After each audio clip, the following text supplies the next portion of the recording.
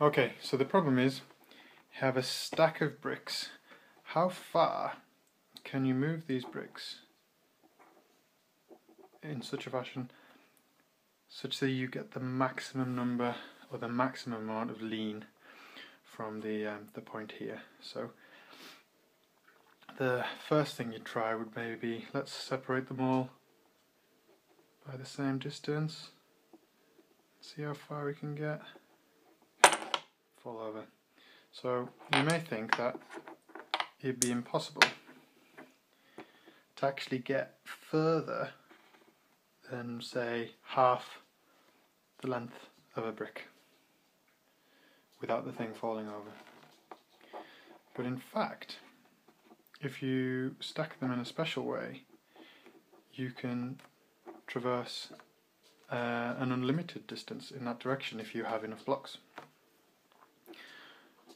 So the way you do this is by trying to make the bricks follow a harmonic series. And effectively what you're doing is you're trying to, to get the centre of mass of everything above the brick underneath aligned with the edge of the brick underneath. So I'll explain this better later, but just I'll just show you now that it's possible with these few bricks to actually build a structure that is that leans beyond the length of, of a single brick. So the way we do this is put that one to about there, make the next one smaller. This is quite tricky with these bricks. Next one smaller still. Next bit bit smaller next one smaller again and here with these few bricks you can see that the edge of this brick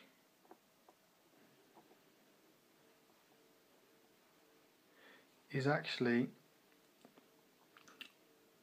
either in line with the bottom brick or over so we've gone from having half a limit of what we thought would be a half to actually a whole brick so this brick at the top is completely hovering, but it's still standing up with no glue and no fixings, anything. This is just holding itself together with, uh, with the structure under gravity. So this is about as far as we're going to get with these bricks because they're imperfect, they've got rounded edges and um, the, the material they're made out of won't necessarily be uniform in density. So let's go and see how far we can get if we use some theoretical bricks. Okay, so we've seen what we can do with real bricks. But real bricks suffer from imperfections, like the sides will be all dinted and, and misshapen, the material that they're made out of uh, is not perfectly uniform, and um, you also get rounded edges and things like that. That means the surface isn't properly in contact um, between the bricks. But what about if we move to a theoretical brick or a mathematical brick? A brick that has perfectly parallel and straight sides um, and is made of a, a uniform density material and perfectly uniform so every little bit of it is made out of the same density of stuff. And if we had another one it would be exactly the same, completely identical in every way. What would we do now to then start stacking these bricks to maximize the, um, the lean for the number of bricks we have piled on top of each other. So we start by finding the center of mass of this brick. Now this is here, it's half the length of the brick. So if we put another brick with its edge lined up with the center of mass of the brick above it, then we'll create a structure with two bricks which is on the edge of stability, so it's just stable. It's at equilibrium. So if we put that brick there, we get a tower height of 2, we get a lean of half the length of the bricks, and here it, this tells you what the last brick added, and this so this last brick added a lean of a length over 2, and the number of blocks is up here. Okay, so we've created this new structure now with two blocks. So as a whole, this thing is stable. This, these two blocks are stable. So let's calculate the center of mass of these two blocks. So there's the center of mass of the old blocks, the green arrow, and this red arrow is giving you the center of mass of this structure here.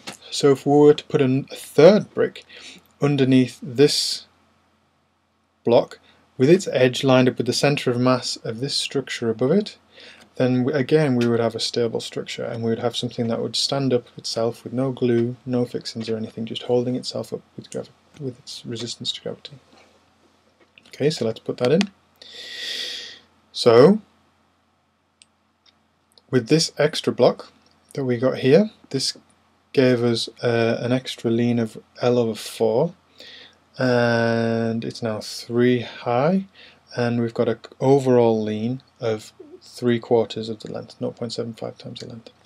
So let's add another block. So the center of mass of this structure now is here. Add in another block and here we go now this time we only got L over 6. Now you might be seeing a pattern here and we'll come into that in a second. Now now we've got a tower height of 4 and we have a lean of 0.7 so we're nearly at a whole length of lean um, with uh, with only four blocks. So let's add another one. Center of mass is now here.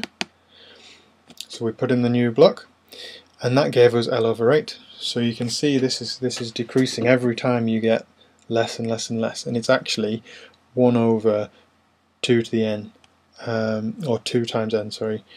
Uh, so each it's it's part of the harmonic series, so it go it gets smaller and smaller every time. Um, and now we see with five blocks we're able to actually come past have a lean which is greater than the length of the actual original brick that we started with. And what we'll do now is I'll let it go through and um,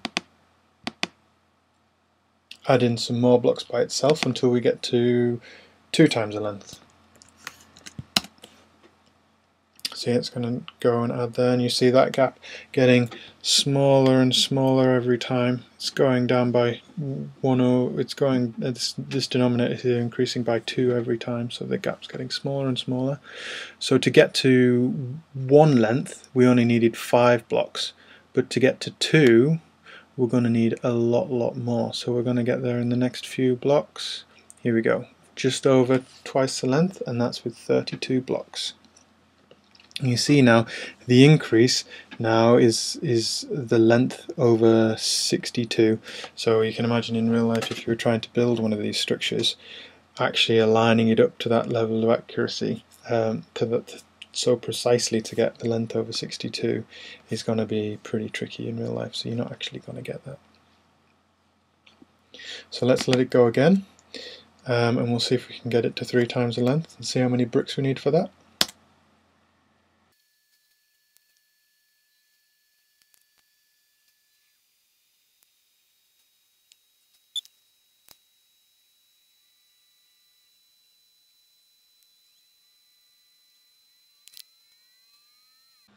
Okay, so we finally got to three there, three times the length, um, but that took 228 blocks that time.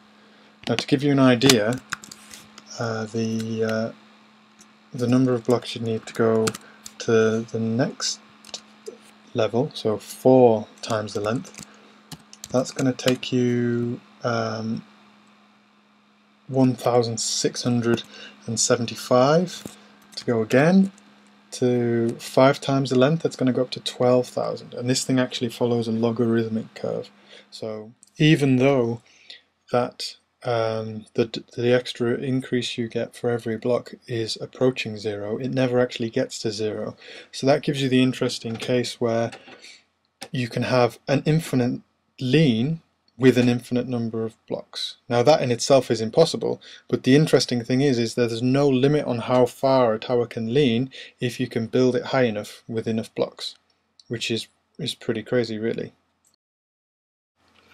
So if we want to actually look at the mathematics a little bit and um, get into the details, then if we set n is equal to the number of blocks we've got, and the lean sub n to be the lean we've got with n blocks, then the recursive relationship between subs adding subsequent blocks is the lean of n plus 1, which is the lean you'll get with an extra block, is the lean you've got with the previous number of blocks plus L over 2 times the previous number of blocks. So you, the extra bit you get every time is this L over 2n. So let's try that with a couple of examples to see if it works. Uh, so we've got the lean with two blocks is equal to the lean you get with one block plus L over 2n. So in this case, the lean we get with one block is 0, and the L over 2n, n is equal to 1, so we get L over 2. So that gives us a lean of L over 2 with two bricks, which is what we were looking for. With 3, lean of 3, lean with 3 bricks, we get we need to take the lean with 2 plus L over 2n again. So that gives us L over 2 from the previous one. Then we get n here is 2, so that's the number of blocks we had before. So that's L over 4. We add those together and we get 3L over 4, which is what we, we got before. And another way of expressing this, uh, and another way to show that all these little bits that you add, um, these L over 2n's, smaller and smaller, but they still keep going, is to write the um, the the the equation uh, in its in its absolute form. So so so without the recursive bit, and then you get the lean of the the lean with n blocks is equal to the sum of L over 2n when that's a sum from 1 n equals 1 to big N so that is the, the number of blocks and that sum there, if you've ever done any maths, you'll know that that is not does not converge, so it's not doesn't have a finite sum. The sum of this series is infinite, which again means that with an infinite number of blocks, you get an infinite lean. So it's just one of these quirky things in um, statics and mechanics. You get uh, an infinite lean with an infinite number of blocks, and there's just no limit on it. It's quite impressive. Okay, thank you. Bye bye.